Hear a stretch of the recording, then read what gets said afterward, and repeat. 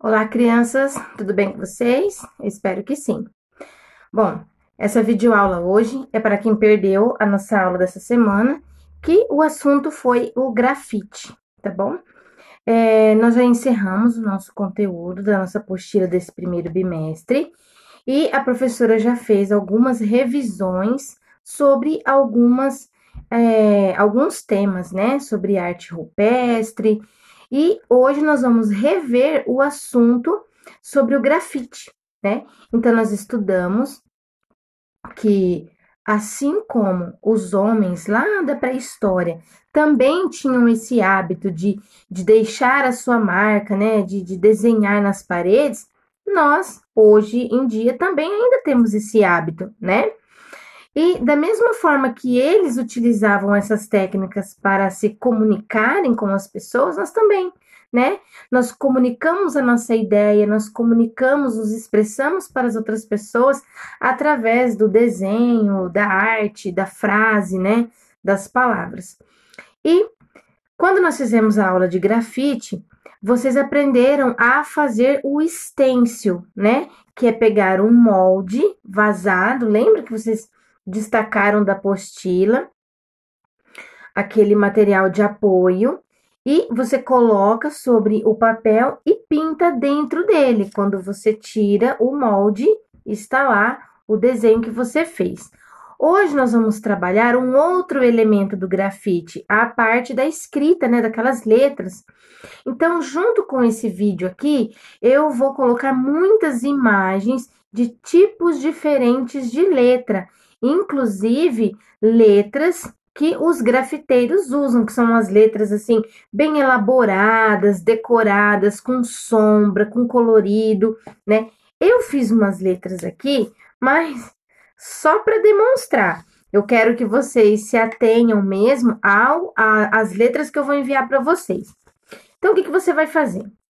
Você vai pegar aí o seu caderno de arte ou uma folha, se você não tiver o seu caderno, coloque a data de hoje e escreva grafite, tá? E aí você vai fazer, você vai desenhar um alfabeto inteiro, do A até o Z, para você aprender a fazer essas letras. E depois você vai escrever uma palavra.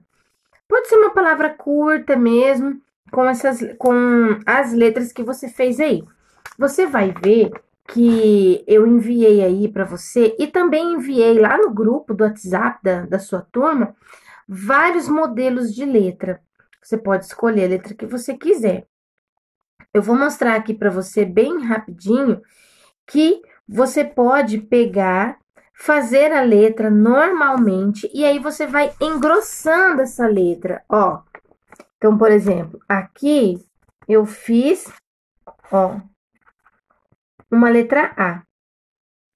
Eu posso pegar aqui em volta dessa letra A e eu vou contornar ela aqui, ó, para engrossar ela, para ela ficar maior. Ó, você pode fazer um traçado assim, arredondado, ou você pode fazer pontudinho, né? Ó lá. E aí você vai fazendo e decorando. Você vai fazer todas as letras. Tem letra em formato de balão, letra em formato de coelho, de morango. A professora colocou muitas letras lá para você observar. Depois que você fez todo o seu alfabeto, ó, eu escolhi a palavra arte, a palavra turma e escrevi aqui.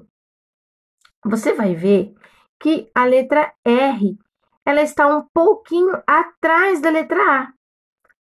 T está um pouquinho atrás da letra R e o E também ficou atrás da letra T. Olha lá que interessante, tá? Olha lá a palavrinha turma, né? E o mais interessante disso daqui, para você conseguir deixar essa letra mais assim tridimensional, é a questão do sombreamento que você faz. Ó, tá vendo essa parte roxa aqui, ó? Ó, é um sombreamento, não tinha isso daqui. A minha letra era só essa parte aqui, ó, amarelinha. Aí depois a gente vem e faz o sombreado, tá? Você pode fazer um colorido embaixo.